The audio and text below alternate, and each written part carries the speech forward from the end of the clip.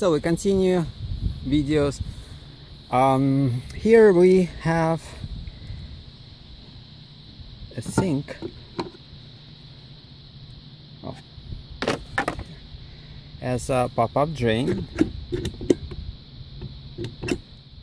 and uh, the water is not running right now because I bought this piece of junk off eBay and it stopped working and it's not only stopped working it's actually uh, swell over here on both sides. Of it apparently something is burning and I, I believe there's a coil inside.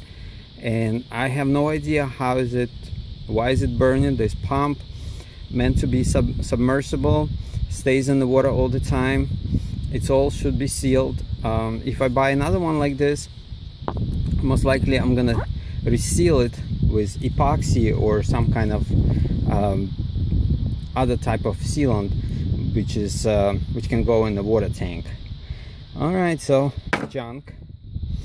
That's why I can't really show you how this works but it works beautifully. It has switch built in here so I don't have to deal with um, extra switches and it connects directly to the pump. So every time water open it goes. This one is this switch is to control the shower pump because it's a more powerful pump and it pumps pretty good. And it's self self-priming. So right now it's fully ignited and the shower is ready to be used. And it's pretty nice. I mean it got nice pressure. Oh where is it? Okay very good. It's the compartment where water tank goes.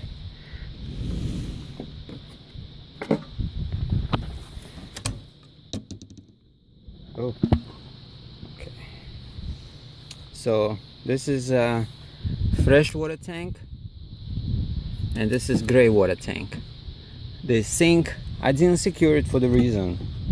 It comes out anytime you want to drain water directly from the sink if you use the pop-up drain or um, if you need to remove the tank.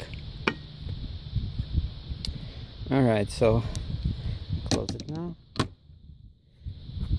And uh, of course nice interior beautiful van. It's a mess on the front seat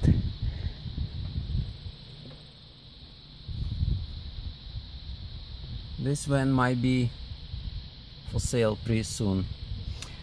Another thing um, all the uh, cabinets two section. This section and this section removable. Uh, this removable. It stays together while transporting it but when you want to take it out there's a couple of screws on this side and this side and it separates benches from the table base and uh, you can remove it and keep it in the garage stuck up somewhere by the wall.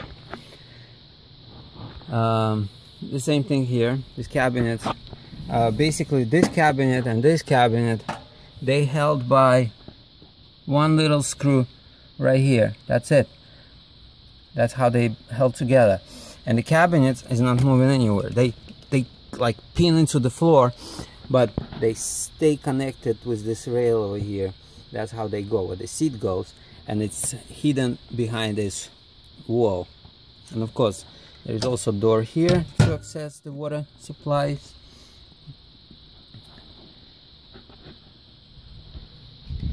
This portion uh, connected to uh, section the, the rear section where all the electric which stays connected with two screws which holds an upper shelf and the lower shelf just drop behind the armrest which is also compartment to store some little trinkets. And uh, nothing else. And it stays there. It's not moving anywhere. This van after all this was put together this van was taken on an ultimate test drive. Bumps potholes um, turns and it stays. It's very steady and holds the road with no problem. Okay time to go to the pool